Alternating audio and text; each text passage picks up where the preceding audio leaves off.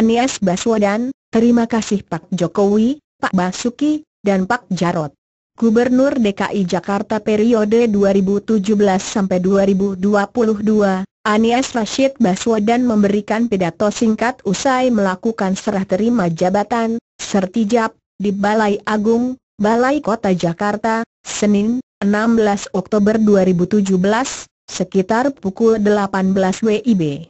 Anies dan pasangannya Wakil Gubernur Sandiaga Salahuddin Uno tiba di Balai Kota Jakarta sekitar pukul 17 lewat 30 menit WIB, usai dilantik oleh Presiden Joko Widodo di Istana Negara. Bersama keluarga, keduanya langsung menembus kerumunan warga yang sudah menunggu sejak pagi untuk segera masuk ke Balai Agung. Anies Sandi menerima sertijab dari Dirjen Otonomi Daerah Kemendagri Sony Sumarsono. Anies kemudian diberi keempatan untuk memberikan sambutan ditemani Sandiaga Uno di belakangnya.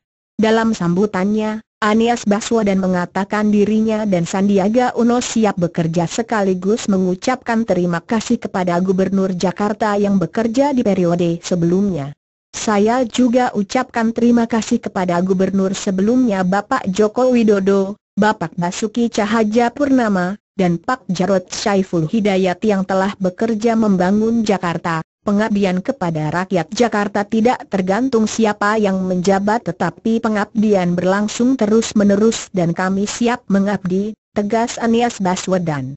Anies juga mengatakan dirinya dan Sandiaga Uno sudah mempersiapkan diri untuk memimpin Jakarta sejak enam bulan yang lalu.